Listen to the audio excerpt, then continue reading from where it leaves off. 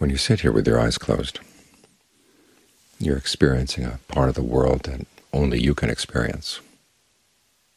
Your body, your mind, as you sense them from inside. And it's precisely about this area that the Buddha taught. The big problem, he said in here, is the suffering and stress we cause ourselves. But the solution is also in here. The same mind that creates suffering can also be trained to stop the suffering. And the potentials for pain and suffering that we have in this part of the world can be turned into potentials for pleasure, potentials for well-being. This is why we train the mind and try to focus it in this area here. When we're meditating, we're not contemplating anything far away. We're contemplating our breath. Again, the way you feel your breath is something no one else can know. As the Buddha pointed out, if you're ignorant of the way you breathe, even that can become a cause of suffering. Because the breath, when it gets out of line, can be harsh, it can be uncomfortable for the body. And when it's uncomfortable, you don't want to stay here. You want to think about something else. You want to get out of this part of the world. And you escape into your thoughts. Escape into search for pleasures outside.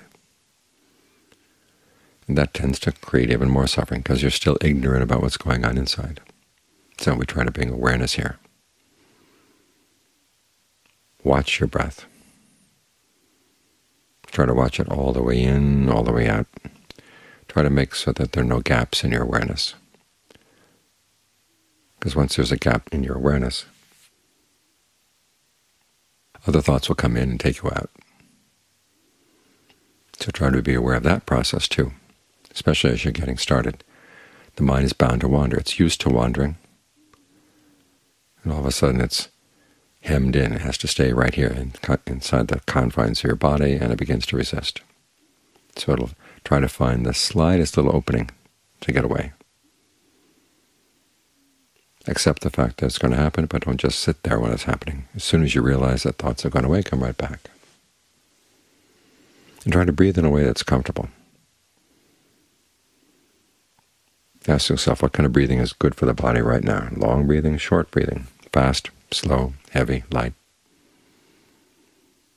What feels best for the body right now? When you're feeling tired, you want to breathe in a way that's more energizing. If you're feeling tense or wired, you want to breathe in a way that's more relaxing and more soothing. So try to get a sense of what the body needs right now and see if you can breathe in a way that helps to provide for that need. Bring some awareness to your breathing, and bring some awareness to your thoughts.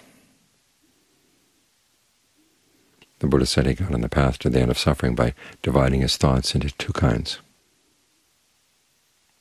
based on the kinds of actions they led to. If they're going to lead to skillful actions, they were okay. If they were going to lead to unskillful actions, he put a, put a stop to them. In other words, he didn't look at his thoughts as to whether they were entertaining or not, or whether he liked them or not. but just the question, where will these thoughts lead? And sometimes it's hard to see that if the mind isn't still, because the thoughts can lead in an unskillful direction, but looks that unskillful direction may look good to us because it looks better than what we've got. This is another reason why we try to, try to create a sense of pleasure in the breath. So we've got something good. When you've got something good, then you can look at the things that will in the long term be problematic. And you say, no, I don't, don't really need those. I'm better off where I am. So put yourself in a good position right now. Ask yourself, what kind of breathing is good? Where in the body is it best to stay focused? Where is the breath clearest? Where is it most comfortable? Try to focus there. And as you do get a sense of comfort from the breath, then the next question is, how can I spread that sense of comfort around? Why does it have to be only one spot? Because when we talk about breath here, it's not just the air coming in and out of the lungs, but it's a flow of energy that goes to the body. And the most obvious flow, of course, is the flow that brings the air in and lets the air out. But as you sit here with your eyes closed, you realize you know where your body is. That's not just because you're sitting against a chair or sitting on the floor. You can feel some kind of energy that lets you know where your arms are, where your legs are, where your torso is, where your head is. And all of that gets classed as breath. So there are many levels of breath energy in the body.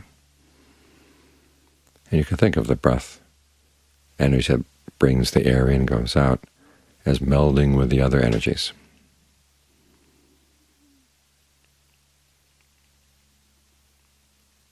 So the body becomes one large field of breath energy, moving in, moving out, moving around. And try to make your awareness large as well. Even though it's centered in one spot, you can still be aware of different parts of the body. It's like looking at a picture. You can focus on one spot in the picture, but you can also see the whole picture at the same time.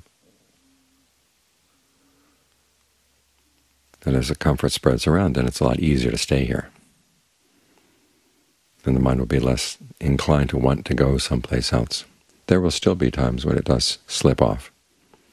But if you've got a good place to come back to, you'll be happy to come back. And no one is forcing you to breathe in an uncomfortable way. When the breath is uncomfortable, you have every right to find a new way to breathe.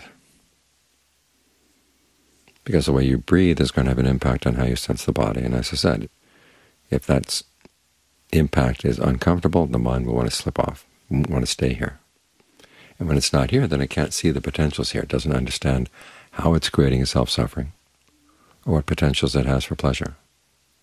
The simple fact that you've got a breath here means there's a potential for pleasure in the present moment. The simple fact that you're thinking means that you can use your thinking in a way that leads to well-being. So you've got these potentials here. And the meditation is simply a matter of making the most of them by bringing more and more awareness to this part of the world, to this, what you're doing inside this part of the world as you breathe and as you think.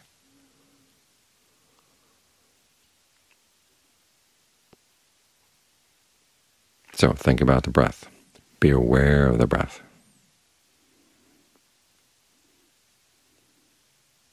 Keep this up the more continuous your awareness, the more you'll see inside.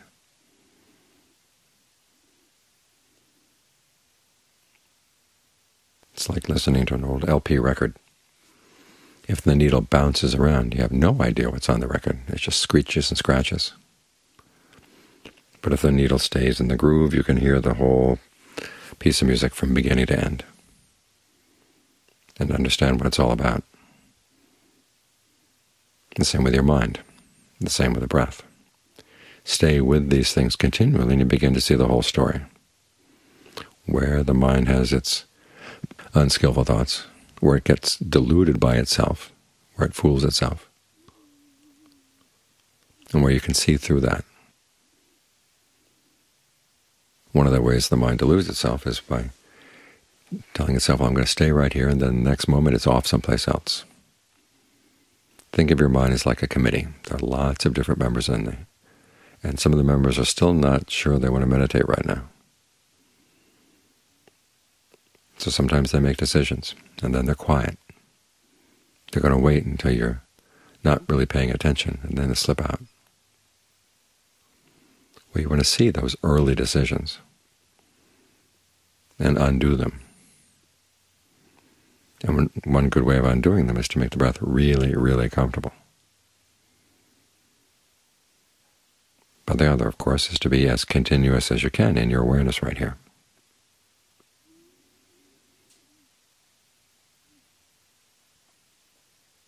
And even though the mind may slip away, the more quickly you can catch it, the more you begin to understand how the mind has many layers inside how the decisions get shunted around from one part of the mind to another. And the stages in what it means to be distracted. There'll be a little stirring in the body. Well, in the beginning it's hard to really say whether it's a stirring in the body or a stirring in the mind, but there's a little stirring in the energy, and you look into it and say, what's this? And then the mind will slap a label on it. So, oh, this is a thought about that, or this is something happening in this part of the body. It'll decide whether it's going to take it as a physical or a mental event. And the next question is, you want to continue with this? And all too often the mind is bored with what it's doing in the present moment. Says, sure, let's go.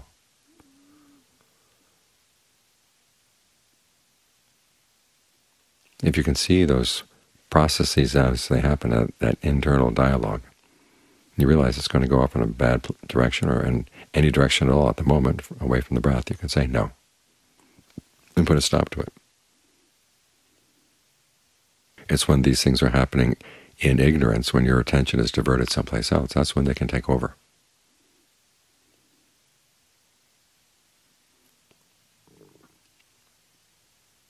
So this is how we look after the health of the mind.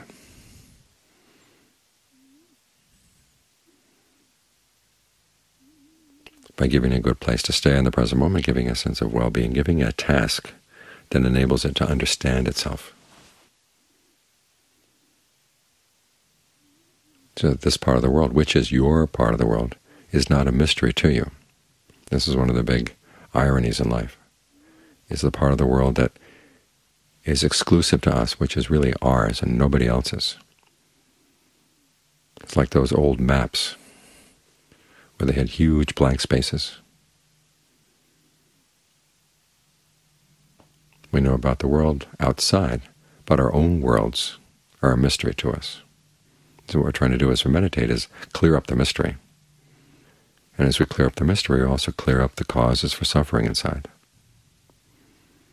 The ways the mind creates unnecessary stress and strain for itself, unnecessary problems for itself. So bring as much awareness to this part of your world as you can because there are a lot of potentials here. Potentials for suffering, potentials for pleasure, potentials for really solid well-being. It's all right here. It's simply a matter of looking continually and knowing how to look in a way that maximizes the good pleasures and can see right through the bad ones.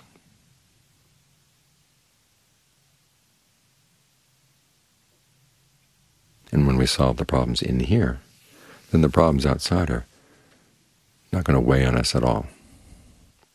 It's our tendency to take problems outside and bring them in and carry them around inside. That's why we suffer. The things outside don't make us suffer. We create a bridge and bring them in. But if we learn how not to create the bridge, then Things can be bad outside, but inside doesn't have to be bad. That's not like we're running away from our problems. We can still deal with the problems, but they don't weigh the mind down.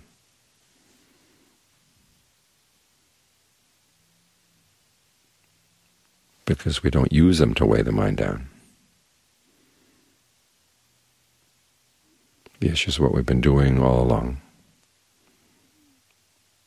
Dealing with our mind, dealing with our sense of the body inside, out of ignorance. But that ignorance can be cleared away with knowledge, as Ajaan Suwat used to like to say. It's like darkness. The darkness may have been there for aeons and aeons. And you bring a light into the darkness. The darkness doesn't have the right to say, well, we've been here so long, this is our place. Once the light is there, the darkness disappears.